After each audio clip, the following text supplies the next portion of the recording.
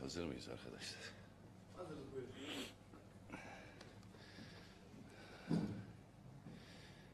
Değerli basın emekçileri, zor günler geçiriyoruz. Sizlere de çok kolay gelsin diyorum. İyi mesailer diliyorum. Hepimiz kendimizi ve toplumumuzu, çevremizi sakınalım diyorum. Evet, kritik bir haftadayız. Her şeyden önce bu küresel salgınla ilgili Türkiye'nin milletçe verdiği mücadelenin başarıya ulaşması en büyük arzumuzdur. Başaracağımıza da inanıyorum. Ama bununla birlikte kimi değerlendirmelerimizi, uyarılarımızı, yapıcı önerilerimizi hem yürütmeye hem yüce meclisimize ve sizler aracılığıyla aziz milletimize sunmayı da bir görev sayıyoruz. Önce tekrar tekrar sağlık çalışanlarımızın tamamına minnet ve şükran duygularımızı ifade ediyorum. Büyük risk aldıklarının kendileri de zaten bilincindeler. Onların aldıkları riski minimize etmek hiç şüphesiz yürütme organının görevidir. Ve böyle olunca da e, yürütmenin sağlık çalışanlarının minimum riskle çalışması noktasında eksikleri olduğunu da söylemeden geçemeyeceğim. Bu eksikliklere biraz sonra değinirim. Ama döner sermaye ödemelerini tavandan uygulama, tavandan ödenmesi uygulamasını doğru bulmaktayız. Eksik bulmaktayız. Biz doktor, hemşire başta olmak üzere tüm sağlık çalışanlarına bu kritik dönemde hak ettikleri ödülün verilmesini ekonomik olarak ekonomik olarak rahatlamaları noktasında azami katkının yapılmasını arzu ettik. Gelinen noktada döner sermaye e, ödemelerinin tavandan yapılmasının sadece doktor ve hemşirelerimizle sınırlı kalmasını da eksik buluyoruz değerli arkadaşlar. Acil tıp teknisyeninden hastaneyi paspaslayan temizlik elemanına kadar, ambulans şoföründen teknikere kadar, banko memurundan teknisyenine kadar herkesin döner sermayeden faydalanması işin olmazsa olmazıdır. Hakkaniyet ve adalet bunu gerektirir. Değerli arkadaşlar, şimdi İspanya'ya ve İtalya'ya tıbbi yardım yaptığımızı söyleyen bir yürütmeyle karşı karşıyayız. Biz bundan memnun oluruz. Türkiye'nin İspanya ve İtalya'ya bu salgın nedeniyle yardım yapabilmesi güzel bir şey. Olumlu bir şey. Ama hastaneler tıbbi sarf malzemesi diye feryat ederken aile hekimlerimiz bırakın sarf malzemesini dezenfektan malzemesi ve maske bulamaz iken İspanya ve İtalya'ya yardım yapmak hamasetini gerçekçi bulmuyoruz. Eve lazım olan camiye haram denmiştir. Türkiye'de bir aile hekimimiz maskeye erişemezken İspanya ve İtalya'ya yardım yaptık hamasetini milletin aklıyla alay etmek olarak gördüğümüzü de belirtmek isterim. Başından beri söyledik. Bu salgınla ilgili perakende çözümlerle doğru sonuç alamayız. Bu mücadele perakende tedbirlerle değil, topyekün bütüncül bir stratejik planlama ile başarıya ulaşabilir. Gelişmelere göre vaziyet alma gibi bir tutum görüyoruz. Efendim işte önce 65 yaş üstündekileri evde tutalım. Sonra bilmem önce bugün lokantaları kapatalım. Yarın berberleri kapatalım. Orta yerde bizim de kabul ettiğimiz, inandığımız Türkiye'nin çok iyi yetişmiş uzmanlarından oluşan bir bilim kurulu var. Şimdi burada artık bu mücadelede siyasetin söz söyleme hakkı bilim kuruluna dayalı bilim kurulunun bilim kurulundan çıkan görüş, öneri ve değerlendirmeler doğrultusunda olur ise bu mücadele başarıya ulaşır. Bilim kurulumuza güvenimiz tamdır. Ama bu vesileyle Sağlık Bakanımıza bir çağrı yapmak isterim. Sayın Bakan, alacağınız kararlar noktasında bir tıp adamı olarak sizin siyasetten önce gözünüzün ve kulağınızın bilim kurulunda olması gerekir. Milletin hayatını, milletin geleceğini kimi siyasi mülazalar, değerlendirmeler, kaygılar nedeniyle riske atarsanız bir tıp adam olarak bu size yakışmaz. Görüyoruz televizyonlarda. Efendim okulları açacağız mı? Kapat Efendim bu e, Sayın Cumhurbaşkanımıza bir soralım. Evet Cumhurbaşkanıdır, devletin başıdır hiçbir itirazımız yok. Ama okulların açılıp kapanması tarihi Cumhurbaşkanının inisiyatifinde olabilemez. Buna karar verecek olan bilim kuruludur. Talim terbiyeden yetişmiş gelmiş çok iyi bir eğitimci olarak bildiğimiz Milli Eğitim Bakanımızın okulları açma kapama meselesi için efendim müsaade ederseniz bilim kuruluna da bir sorayım da buna göre bir karar vereyim siz nasıl tensip buyurursunuz demesini yakıştıramadığımı söylemek isterim. Gene aynı şekilde bilim kurulunda yapılan değerlendirmelerin Sayın Sağlık Bakanı tarafından bir Cumhurbaşkanımıza soralım. O da uygun görürse böyle yapalım. Yaklaşımını da doğru bulmadığımı belirtmek istiyorum. Hükümet sağlıklı bir sokağa çıkma e, uygulamasının yapılabilmesi için karantina ilan edilmesi halinde evlerinde kalacak, izole edilecek insanların gıdasını, yiyeceğini, ihanesini düşündüğü için, bunu karşılamakta zorlanacağı için buna yak, yak, e, yanaşmıyor ve gönüllü karantinayı tavsiye ediyorsa, işte sen bu haldeysen İspanya'ya, İtalya'ya yardım edemezsin kardeşim. Evine kapattığın insanı aç açık bırakırken İtalya'ya yardım ettim diye övünürsen bunun adı başka bir şey olur. Bunu söylemek istemiyorum. Baştan söyledim. Söyleyeceğimiz her şey milletin, devletin, hatta yürütmenin ve Erdoğan'ın menfaatiyle ilgilidir. Değerli arkadaşlar, dünden beri bir yardım kampanyası e, Türkiye'nin gündemine oturdu. Önce şunu söyleyeyim. Milletçe yardımlaşmanın en güzelini yapmasını biliriz. Ama önce devleti, devletin gücünü ve kudretini de görmek isteriz. Devlet çare kapısıdır. Devlet kol kanat gelendir. Devlet alan el değil, devlet veren eldir. Biz böyle gördük, böyle bildik. Böyle durumlarda yardımlaşma olmaz mı? Elbette olur. İhtiyaç duyulursa şüphesiz olur. Bunda da Türk milleti varını yoğunu ortaya koyar. Bu millet devletin başı dara düştüğü vakit her şeyini vermiş bir millettir. Kurtuluş Savaşı'nda çorabını vermiş. İkinci Dünya Savaşı öncesinde ve esnasında parmağındaki alyansı vermiş bir milletten bahsediyoruz. Benim babam İkinci Dünya Savaşı e, krizinde sonrasında e, alyansını vermiş bir insandır. Buna elbette yaparız. Ama bizden çok daha fakir ülkeler henüz bu yola başvurmamışken, daha krizin başındayken, maksimum eşeğe pik noktaya gelinmemişken, şimdiden devlet başkanı tarafından yardım kampanyası çağrılarının yapılması aslında bize devletin vatandaşların gördüğü ve sandığı kadar güçlü olmadığını, varsıl olmadığını da maalesef üzüntüyle söylüyorum, göstermekte. Hani IMF'ye borç verecek kadar güçlüydük. Öyle diyordu Sayın Cumhurbaşkanı. IMF'ye 5 milyar dolar borç vereceğiz diyordu.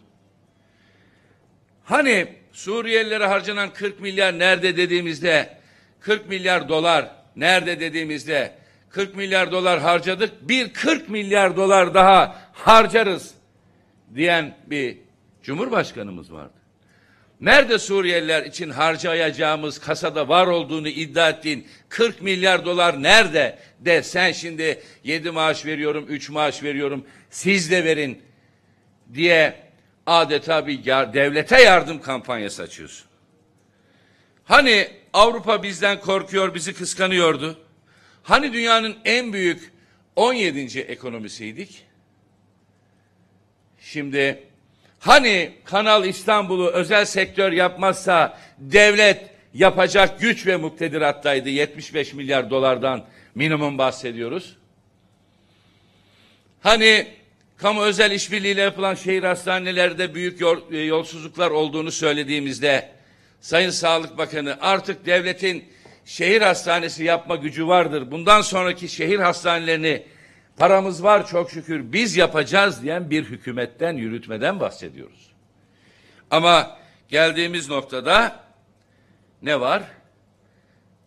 İyane talebinde bulunan, yardım talebinde bulunan, milletten para toplamak için kapı açan ve virüsle mücadeleden kaynaklı olarak işsiz kaldığı için evinden çıkamayan insanlara para vermek yerine insanları borçlandıran bir devletle karşı karşıyayız.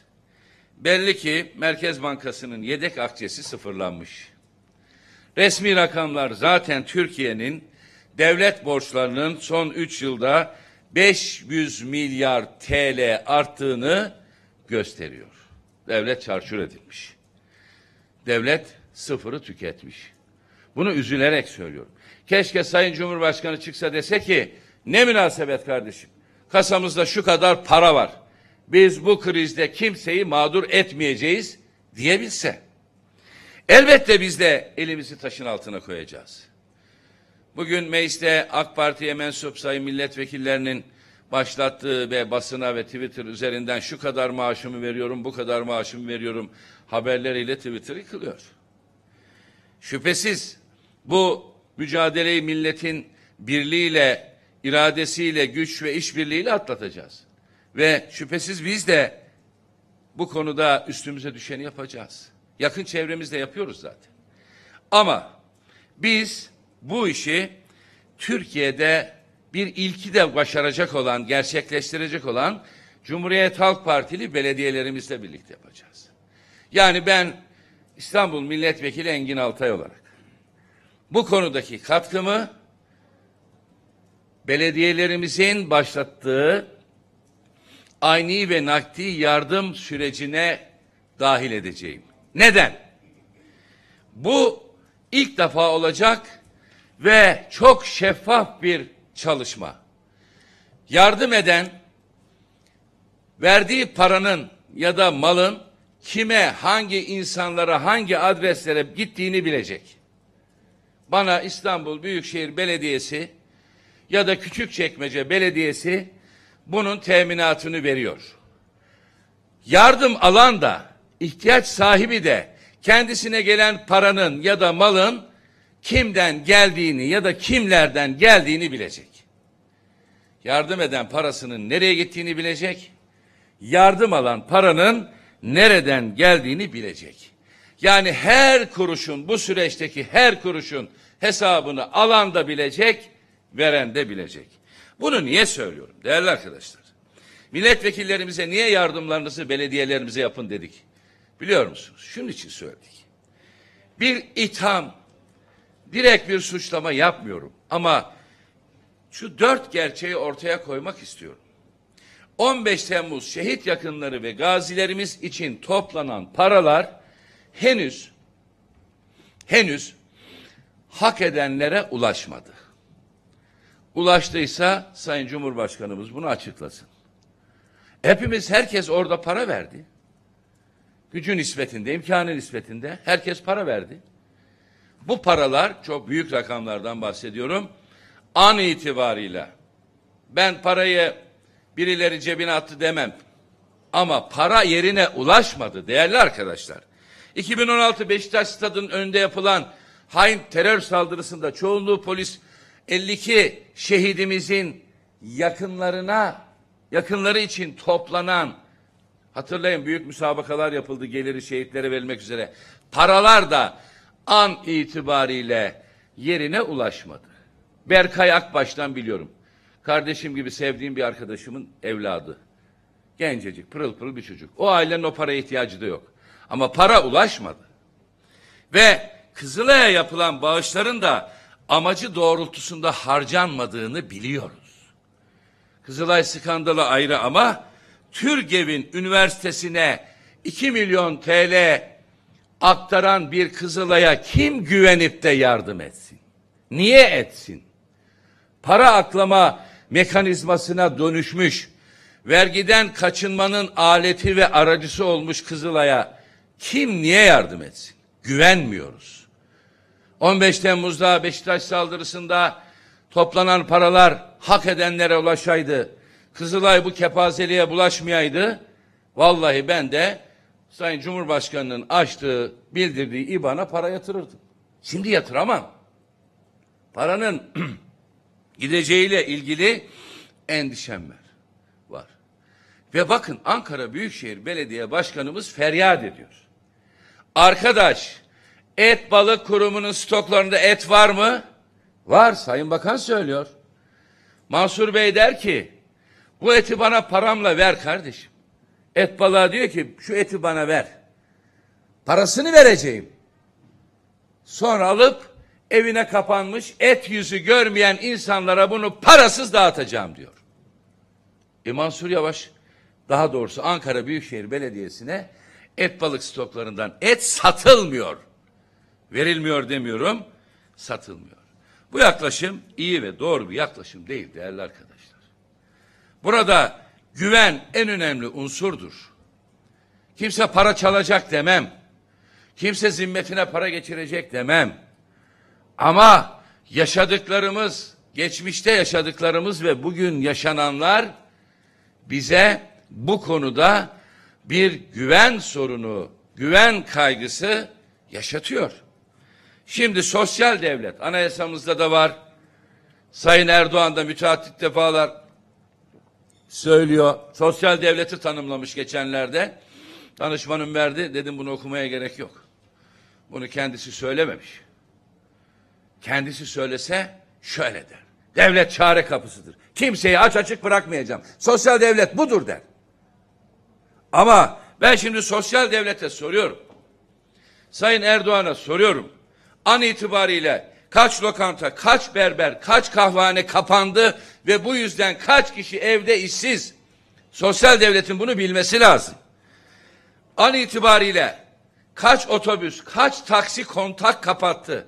Kaç tane şoför esnafımız, muavinlerimiz işsiz eve kapandı? Devlet bunu bilmiyor. Değerli arkadaşlar, bu kriz iyi yönetilmezse, bu kriz ortak bir akılla yönetilmezse, muhalefetin uyarıları dikkate alınmazsa, Türkiye, üzülerek söylüyorum, pandemiyi, koronayı elbet aşacağız. Umarım en az kayıplaşarız. Ama aşacağız. Aşmak için de evden çıkmamalıyız. Kesinlikle çıkmamalıyız. Bunun gere bunu yapmak durumunda olan insanları evde tutmak durumunda olan devlettir. Ama bu ortak akıl çalıştırılmazsa, muhalefetin uyarılarına kulak verilmezse, maalesef söylüyorum, Türkiye işsizler ülkesi olacak, Türkiye yoksullar ülkesi olacak.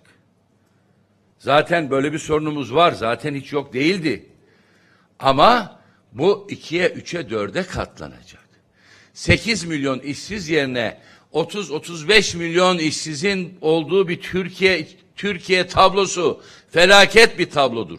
En az korona kadar, Covid-19 kadar kötü, felaket, vahim bir tablodur. Evet, eleştiriyoruz. İyi olsun diye eleştiriyoruz. Uyarıyoruz. Uyarıyoruz. Milletin huzuru, refahı için uyarıyoruz. Bize kulak verin. Devleti yönetenler, çoğunluk partisi bize kulak verin. Bir ses sağduyunun sesidir. Evde kalanın sesidir. Milletin sesidir.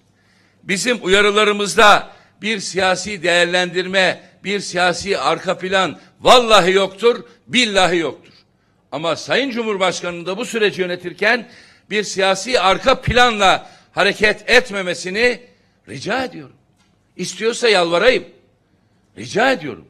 Bunu yapmayın. Her şey siyaset değil. Değerli arkadaşlar, bu salgının ekonomik etkileri ve zararlarını vatandaşı borçlandırarak kurtulamayız. Salgının ekonomik etkilerinden salgının mağduru vatandaşlarımızı borçlandırarak buradan sıyıramayız. Bu Türkiye'yi daha büyük ekonomik bir krize, buhrana sokar. Dünya para veriyor. Hatta bizden fakir ülkeler evde tuttukları insanlara para veriyor. Biz diyoruz ki biz sana borç veririz. İstersen git bankadan al. Kredi. Üç ay faizsiz. Altı ay faizsiz. Değerli arkadaşlar. Bu milletle dalga geçmektir. Milletin aklıyla alay etmektir. Bakın 24 Mart Salı günü geçtiğimiz hafta Türkiye Büyük Millet Meclisi'nde AK Parti'nin Sayın Erdoğan'ın daha önce kamuoyuyla paylaştığı kimi iyileştirme paketi adı altında 20 maddelik bir teklifi AK Parti getirdi.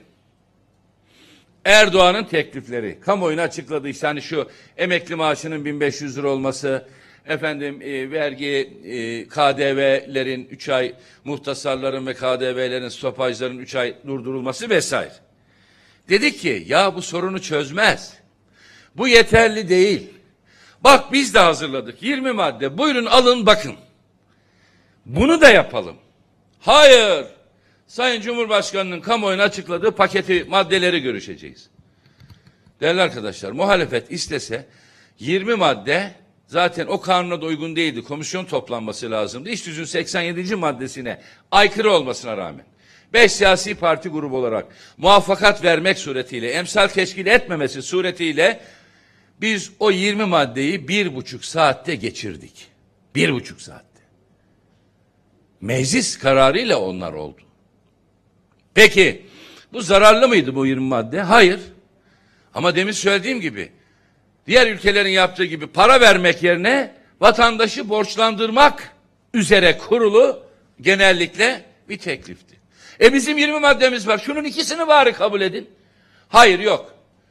Biz bununla yetineceğiz. Peki bizim 22 maddelik teklifimizde ne vardı değerli arkadaşlar? Bizim 22 maddelik teklifimizin içinde berber vardı, tır şoförü vardı, garson vardı, kahveciler vardı, ücretli öğretmenler vardı, inşaat işçileri vardı, sağlık çalışanları vardı, taksiciler vardı, lokantacılar, çiftçiler vardı, otel çalışanları vardı, sokak çalışanları, kağıt toplayıcıları vardı, gündelik işçiler vardı. Hiçbirinin sorunu bu 20 maddeyle ciddi anlamda çözülmüş değildir. Emeklerimizin en düşük emekli maaşının 1500 liradan az olmaması dışında ki o da yeterli değil. Hiçbir katman, toplum katmanının sorunu çözülmemiştir. Şimdi kaynak sıkıntıları var belli ki. Devlet sıfırı tüketmiş. Hazinede ve Merkez Bankası'nda paralar sıfırlanmış ve pamuk eller cebe diyen bir cumhurbaşkanı ile karşı karşıyayız. Değerli arkadaşlar ben huzurunuzda Sayın Cumhurbaşkanı'na bu krizi millete borçlandırmadan, milleti borçlandırmadan, milleti yeniden bankalara mahkum etmeden çözecek 10 maddeyi burada sizlerle paylaşacağım.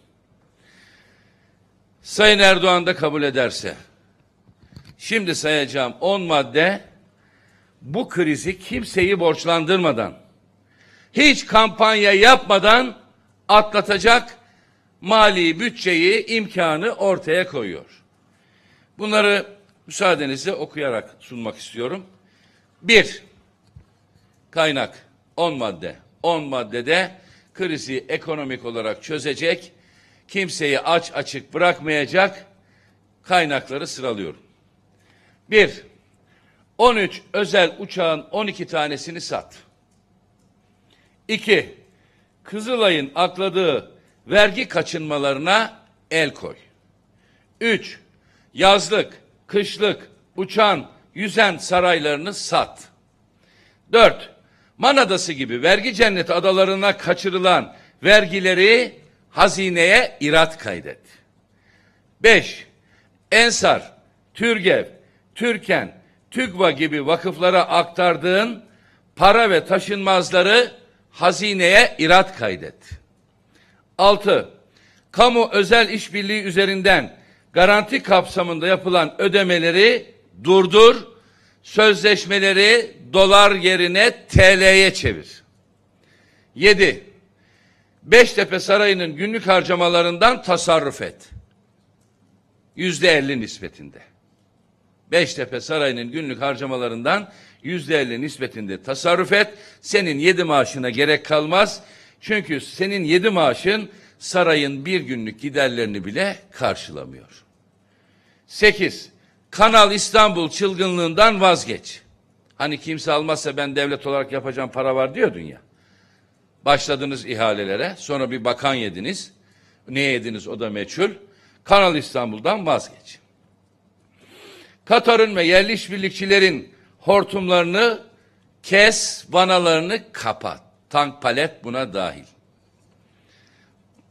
ve 10 18 yıldır yaptığın özelleştirmelerden dolayı devlete takanlardan bu paraları tahsil et. Mesela Hariri'nin kimi kaynaklara göre 3 milyar dolar, kimi kaynaklara göre 5 milyar dolar devlete taktığı para var. Hariri senin iyi adamın. Git Hariri'den bu parayı al. Ve bu 10 maddelik kaynağın kimseden yardım toplamadan, toplanmadan bu sorunu büyük çapta gidereceğini biliyorum. Takdir kendisinindir ama yüce milletimizin, aziz milletimizin de bu 10 maddelik kaynak için saraya yürütmeye basınç yapmasını, talepte bulunmasını da tavsiye ediyorum. Değerli arkadaşlar, samimiyetle şunu söyleyeyim. Uyarılarımız ve eleştirilerimiz bir siyasi kavga, bir siyasi çıkar için değildir. Uyarılarımız ve eleştirilerimiz aziz milletimizin huzuru, refahı, mutluluğu içindir. Allah'tan niyaz ediyorum. Bu kriz akıl ve bilim rehberliğinde güç birliği ve dayanışmayla çözülmelidir. Sayın Cumhurbaşkanının, AK Parti Genel Başkanının ortak akılın çalıştırılmasına, muhalefetin sesi ve uyarısına kulak verilmesine ihtiyacı olduğunu görmesi lazım. Biz bu krizden sebep, bu krizden dolayı AK Parti yıpransın, Erdoğan imaj kaybetsin peşinde değiliz. Ama görüyoruz ve üzülüyoruz ki Sayın Erdoğan krizi yanlış yönetmektedir. görüyoruz ve üzülüyoruz ki kriz sürecinde Sayın Erdoğan yine hırsına, ihtirasına, kaprisine ve kompleksine yenik düşmektedir. Ona el uzatıyoruz. Gel bu eli tut. Bu krizi hep birlikte aşmak mümkün. Etrafında seni yanlış yönlendiren çok sayıda ehliyetsiz ve liyakatsız kadrolarla bu krizi aşamazsın. Ve süreç sonunda tıpkı 15 Temmuz'dan sonra yaptığın gibi milletim beni affetsin demeni de istemiyoruz. Eğer bu süreç sonunda milletim beni affetsin demek istemiyorsan ki ben demeni istemiyorum. Gel muhalefetin samimi uyarılarına kulak ver. Bu krizi hep birlikte çözelim. Bu söylediklerim, bu değerlendirmelerim 83 milyon kıymetli vatandaşımızın asla moralini bozmasın. Gerçekten evde kalını geçtik, hükümete artık evde tut diyoruz. Evde kalmanın, evde tutunmanın bir bedeli var. Bu bedeli devlet olarak karşılayacak, millet olarak tolere edecek güç ve imkana, kabiliyet ve kapasiteye sahibiz. Türkiye büyük bir ülkedir. Bu kriz akılla ve dayanışmayla aşılır. Bu kriz muhalefetin sesine kulak vermeyle aşılır. Bu kriz evde kaldım, açım, açığım diyen insanların çığlığına kulak vererek aşılır. Ben bu hissiyatla aziz milletimize kolaylıklar diliyorum. Tekrar tekrar sağlık çalışanlarımızın, rektörlerimizden, profesörlerimizden, doktorlarımızdan, hemşirelerimizden, uzmanlarımızdan, paspas yapan temizlikçi kardeşime kadar bütün sağlık çalışanlarıma tekrar teşekkür ve minnet duygularımı Cumhuriyet Halk Partisi adına ifade ediyorum ve teşekkür ediyorum arkadaşlar. Evet.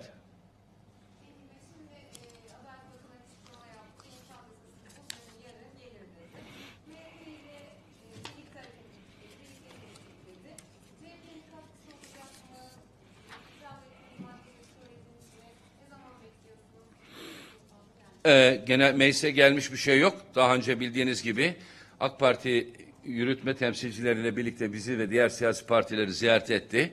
Onların getirdiği teklifle ilgili çekincelerimizi söyledik. Eğer bir rezerv havuzu olacaksa, yani bu infaz indiriminden yararlanamayacaklarla ilgili bir havuz olacaksa, kasten adam öldürmeyi, terör suçlarını vesaire, özel hayatın gizliliğini ihlal suçlarının yanında e, uyuşturucu baronlarının ta taciz, çocuk taciz ve tecavüzcülerinin aile içi şiddete, şiddet suçlarının da bu havuzda kalmasının önemli olduğunun altını çizdik. Bir başka yol önerdik. Bir infaz indiriminde hiçbir istisna yapmadan herkes için eşit şekilde bu infaz indiriminin uygulanması da bir seçenektir dedik. Ama henüz gelmeyse gelmiş bir şey olmamakla birlikte sanıyorum e, havuzu biraz genişletir, genişlettikleri bir paketi meclise göndereceklerini düşünüyoruz. Tekrar altını çizeyim. Bizim artık gelinen yaşanan bu koronavirüs mücadelesi bir seferberlik halidir. Burada kırmızı çizgi ifadesini kullanmak istemem ama yüksek hassasiyetimiz uyuşturucu tacirleri, kadın ve çocuk tecavüzcüleri, aile içi şiddet uygulayıcılarıdır. Eğer bir havuz varsa bunlar bu havuzdan çıkarılmak isteniyorsa Cumhuriyet Halk Partisi bunun karşısında olur. Hayır hiçbir havuz yok. Herkese şu kadar infaz indirimi yapıyoruz derlerse bu da müzakereye açık olduğumuz bir konudur. Ama Adalet Bakanı'na buradan seslenmek isterim. Meclise gönderdiği paketle e, denetimli serbestliği geçici olarak 3 yıla çıkaracak. Yani 3 yıl yatması gereken herkes dışarı çıkacak iken Osman Kavala, Barış Terkoğlu, Barış Pehlivan, Hülya Kılınç, Murat Ağırel gibi gazetecilerin isnat edilen suçtan dolayı alabilecekleri ceza maksimum 3 yıl iken ve iddianameleri daha ortada yokken cezaevinde tutulmaları adalete yapılabilecek en büyük darbedir. Ve Adalet Bakanı'nın bu konuda işine geldiği zaman yargıçlara her türlü talimatı veren yürütmenin bu gazetecilerin haklarında iddianameleri bile hazırlanmadan cezaevinde tutsak gibi, esir gibi tutulmalarına seyirci kalan bir Adalet Bakanı'nın da o koltuğa çok yakıştığını söylersek doğru yapmış olmayız. Evet. Çok teşekkür ediyorum. İyi mesailer. Yüksek seviyeli sosyal mesafemizi sürdürmek dileğiyle saygılar.